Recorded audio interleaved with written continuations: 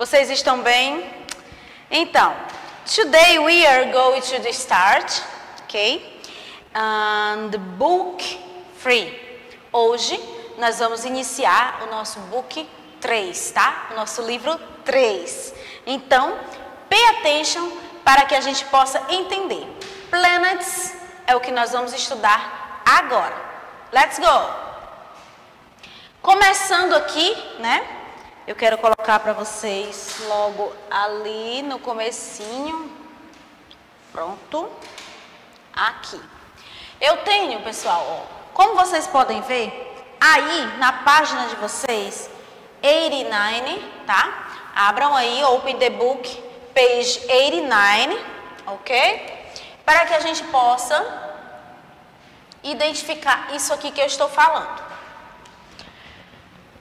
Mercúrio Terra, Júpiter, Urano, Vênus, Marte, Saturno, Netuno, ok? Esses são os planetas que fazem o sistema, né? Então, vamos entender o que eles dizem. Como vocês podem ver, aqui está pequenininho essa, essas palavras. Mas aí no livro de vocês, vocês vão conseguir identificar, tá? O que eu vou falar.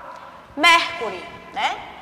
Essa palavrinha que tem aí em cima, que diz o seguinte: Distance from the sun é a distância do sol. Pronto. Aí ele está marcando aí a distância que esse planeta está do sol, tá certo? Tá aqui, ó, em todos eles você pode identificar, tá? É, o Sol, a Lua, tá bom? Então você pode ver, a distância dele do Sol é exatamente 0,33, ok? Aí abaixo também tem dizendo a quilometragem, tá? 70 milhões, né? De, de, de quilômetros, tá? Mais embaixo, length of day, né? Duração do dia, tá? Isso aqui, ó, a duração do dia. Qual é a duração do dia nesse, nesse planeta? O dia lá tem a duração de 176. O dia lá, tá certo? E a duração do ano é exatamente 88 dias, tá? Então, assim, em todos os planetas, vocês vão poder identificar essa, essa quantidade que eu estou falando.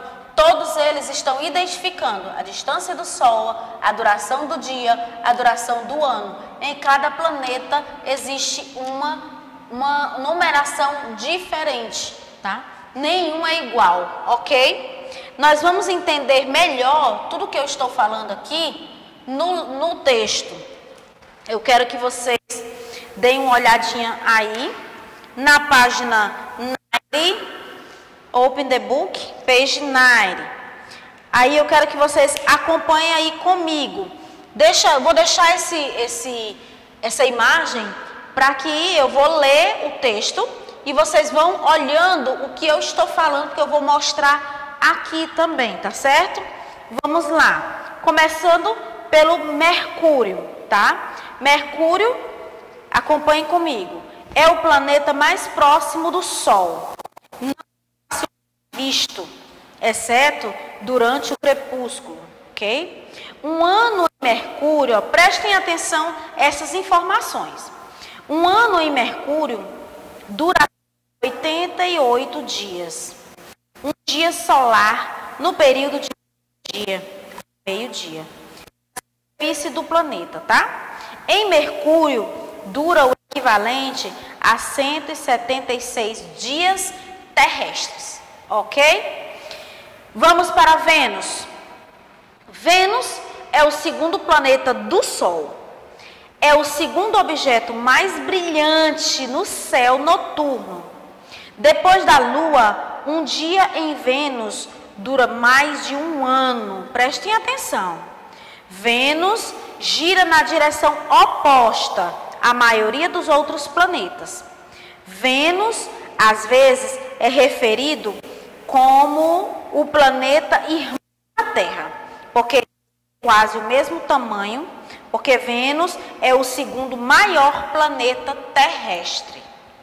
Vamos para a Terra agora. Terra é o terceiro planeta do Sol. É o maior dos planetas terrestres. É o único planeta conhecido que sustenta vida, né? Que é conhecido que há vida neste planeta. A Terra possui um campo magnético poderoso. Este campo protege a Terra dos efeitos do solar. A Terra, então, é o único planeta que não tem o nome de um Deus. Se vocês prestarem atenção, os outros têm nomes de Deus, né? Marte. Marte é o quarto planeta a partir do Sol. É frequentemente descrito como é, o planeta vermelho. Tá aqui ele, ó, o planeta vermelho, né? É, devido à sua aparência avermelhada, Marte é o lar da montanha mais alta do sistema solar. Olimpos Mons, né? Marte tem os maiores tempestades de poeira do sistema solar. Eles podem durar meses e cobrir então todo o planeta. Em Marte, o Sol aparece com metade do tamanho que aparece na Terra, tá? Aquilo que nós vimos que não conseguimos ver direitinho, porque ninguém consegue olhar para o Sol, né, diretamente, mas só em você saber que em Marte o Sol aparece apenas a metade do que aparece para nós, a gente pode até entender assim, deduzir que lá seja mais frio, né, do que aqui, ok? Júpiter. O planeta Júpiter é o planeta a partir do Sol, né? É o quinto planeta a partir do Sol. É duas vezes e meia mais massivo. Sabe o que é massivo? É duas vezes e meia mais completo, mais em massa, em grande quantidade, tá certo? Do que todos os outros planetas do sistema solar, combinados. É feito principalmente de gases e por isso ele é conhecido como um gigante gasoso Júpiter é o quarto objeto mais brilhante do sistema solar. Apenas o Sol, Meon e Vênus são mais brilhantes né, do que ele. É um dos cinco planetas visíveis a olho nu da Terra. Júpiter tem é, o dia mais curto de todos os planetas. Ele gira em seu eixo uma vez a cada 9 horas e 55 minutos ok? Saturno. O Saturno é o sexto planeta a partir do Sol e o mais distante, pode ser visto a olho nu, é facilmente visto, é, por ser mais conhecido por seu fabuloso sistema de anéis, né? Olha só, tá aqui ele, né? Esse sistema de anéis. E Vamos lá. É, Saturno, então, orbita o Sol em vez a cada 29,4 anos terrestres, tá? Ele tem 53 luas e luas menores também. Urano é o sétimo planeta do Sol. Ele não é visível a olho nu. Urano ele faz uma viagem ao redor do Sol a cada 84 anos terrestres. Por que, que de vez por outra você escuta nessa parte falar sobre tipo 88 anos terrestres, 84 anos terrestres? Sabe por quê?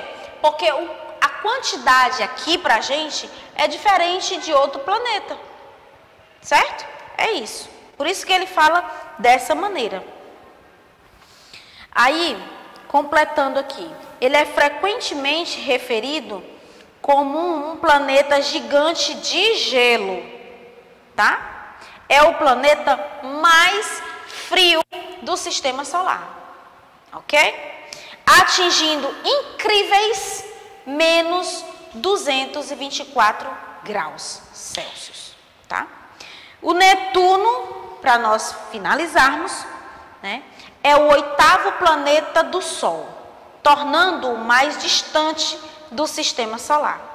Netuno, então, ele tem 14 luas. Ok, pessoal? Então, esse estudo dos planetas é sim de grande importância para que vocês possam perceber, né, o quanto são diferentes os planetas, né? Nenhum é igual, eles todos têm sua característica própria, tá certo? Deixa eu passar aqui agora, vamos lá.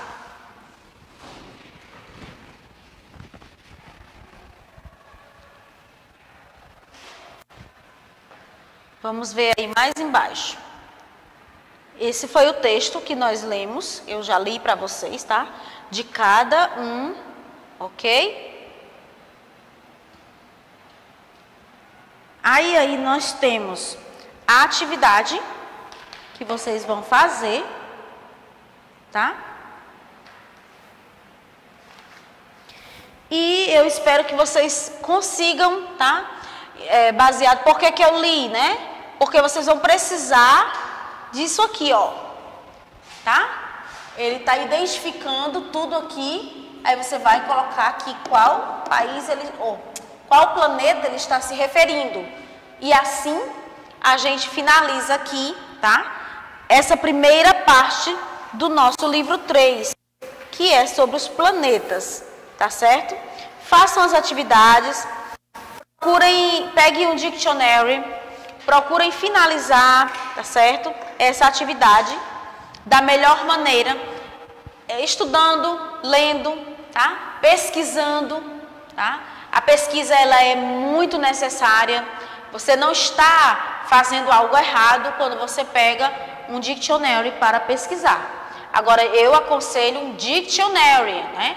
No celular ok? O cell phone, ele tem o tradutor, ele te ajuda, mas ele não te ensina, ok? Pega o dictionary, que é bem mais prático, didático e ensina muito vocês, tá bom, gente? Então, damos, é, damos início aqui ao nosso book tree, ok? E agora nós temos muito assunto pela frente. Bye, bye, até a nossa próxima aula.